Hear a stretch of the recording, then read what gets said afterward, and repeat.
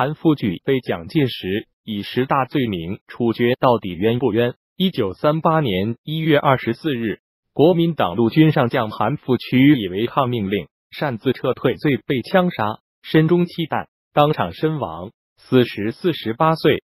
中央日报向全国发布消息，宣布他的十大罪状。这十大罪状是：一、违抗命令，擅自撤退；二、按兵不动，拥兵自保；三、勾结日寇，阴谋独立；四、收缴民枪；五、纵兵殃民；六、派销鸦片；七、破坏司法独立；八、战争和截留国家税款，破坏税制；九、侵吞国防经费；幺零、扰乱金融。一九三八年一月，曾以山东王著称的韩复榘，在武汉被蒋介石以违抗命令、擅自撤退等十大罪名处决。韩复榘因此创下多项纪录。他不但是抗战中第一个被军法处死的国民党高级将领，也是国民党在大陆执政时期按军法处死的军衔、军阶最高的国民党军将领。韩复榘被蒋介石以十大罪名处决，到底冤不冤？首先，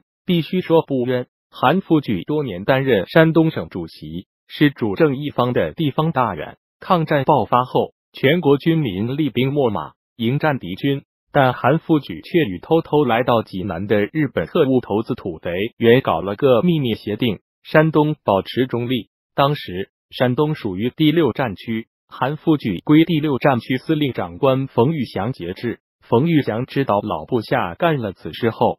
大吃一惊，密电蒋介石。蒋介石派人到济南去安抚韩复榘，任命他为第五战区副司令长官兼第三集团军总司令，负责指挥山东军事，还拨款四百万元防务建筑费，要他承担黄河防务。但是，一九三七年十一月，日军进犯山东，韩复榘不顾第五战区司令长官李宗仁和蒋介石等人的死守济南命令。临阵逃脱，从济南一路逃到济宁，甚至还一度打算撤到陕西汉中。李宗仁闻讯后，认为韩复榘无视军令，不顾国家大体，擅自撤退，破坏抗战，心中异常恼怒，遂向蒋介石建议严办韩复榘。蒋介石便下定决心要拿韩复榘开刀。一九三八年一月，蒋介石以召集北方将领军事会议的名义。将韩复榘引诱至河南开封。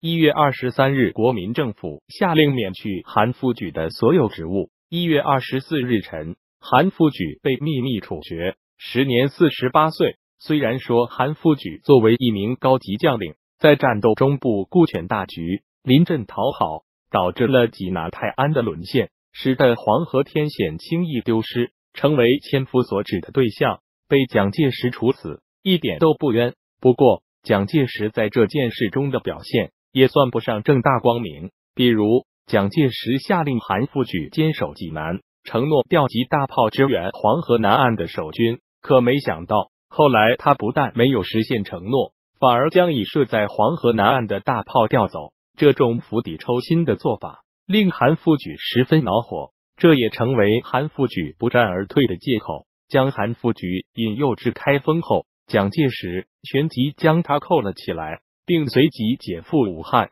在武汉，指派何应钦、陆中林、何成荣为审判官，徐业进、贾焕臣为军法官，组成最高军事法庭，以陆中林为庭长，会审韩复榘。但是奇怪的是，在会审中，各方都到了，唯独韩复榘这个会审对象没到。事实上，韩复榘压根不知道自己被审判的事情。以至于一月二十四日，蒋介石派人枪决他时，他惊慌失措的以为遇到了刺客。当然，从某种意义上讲，蒋介石这种不审而判、不宣而杀的做法，也近似于暗杀。顺便说一句，在抗战中，国家高级将领不战而逃的事例比比皆是。如一九四四年四月，日寇为打通华北到南阳的大陆交通线，发动了豫湘桂战役。第一战区司令长官兼冀察战区司令蒋鼎文与副司令长官汤恩伯一触即溃，在短短一个多月的时间里，